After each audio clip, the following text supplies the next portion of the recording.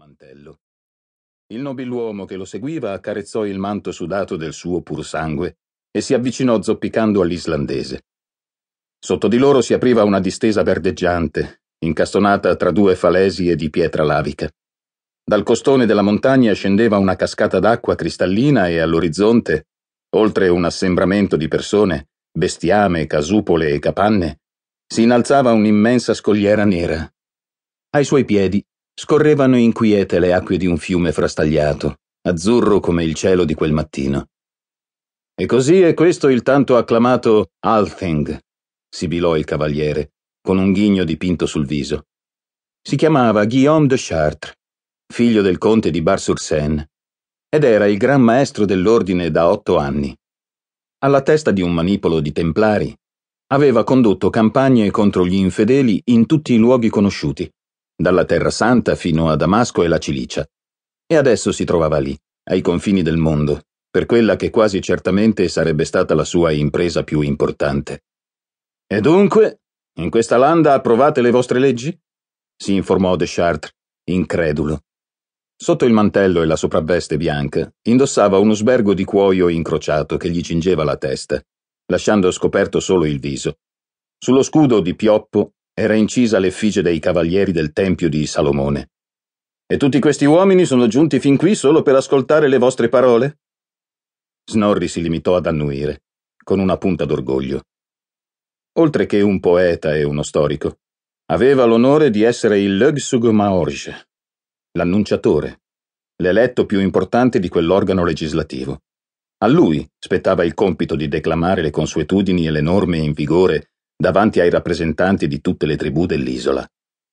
Nelle due settimane di adunanza dell'Althing accorrevano nella piana migliaia di persone, si fermavano lì sistemandosi in capanne di pietra ed erba, e ascoltavano le sue parole in prosa. Era anche l'occasione per la gente comune di concludere buoni affari. Thingvetlir si trasformava nel centro culturale del paese e si potevano incontrare mercanti, forgiatori, conciatori, musicisti e anche poeti, esattamente come Snorri. Nel nostro regno le decisioni le prende Sua Altezza in persona, insistette il conte lanciando un'occhiata all'uomo che l'aveva condotto a Thingvetlir. L'islandese non replicò. Se quel cavaliere, con il suo nutrito seguito, era giunto sull'isola, era per una ragione molto importante, vitale. Inutile spiegargli che l'Althing era un'istituzione nata 300 anni prima e che le decisioni per il popolo le prendeva il popolo stesso e non un monarca. Deschartres non avrebbe compreso, a giudicare dai suoi modi. Dobbiamo parlare con Finor Rapson, mormorò infine Snorri. È l'unico che può fornirvi ciò di cui avete bisogno. Lo incontreremo questa sera, dopo l'audizione.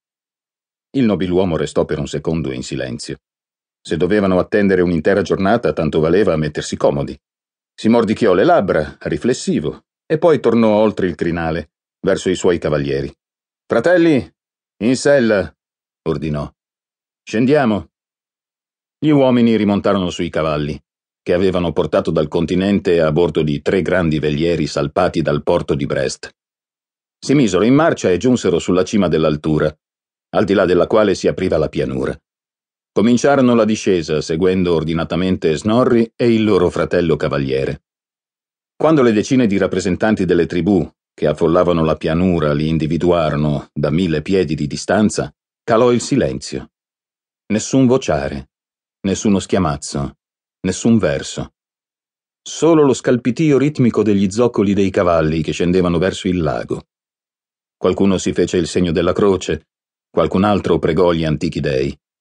Tutti temettero che, alla fine, il giorno del giudizio fosse ormai giunto. Non avevano mai ammirato uno spettacolo simile. Nessuno, su quell'isola, in pace da decenni, aveva mai visto un esercito. E certamente non di quel tipo. Gli ottanta cavalieri, tutti con identiche uniformi e identiche effigi e vessilli, scesero lentamente dal pendio, uno dietro l'altro, in groppa ai loro potenti destrieri. Indossavano tuniche di cuoio, brache di ferro allacciate dietro i polpacci e mantelli candidi. Le armature scintillavano al sole, così come l'elsa delle spade e i cappelli di ferro dai bordi ribattuti. Giunti ai piedi dell'altura, attraversarono la folla ammutolita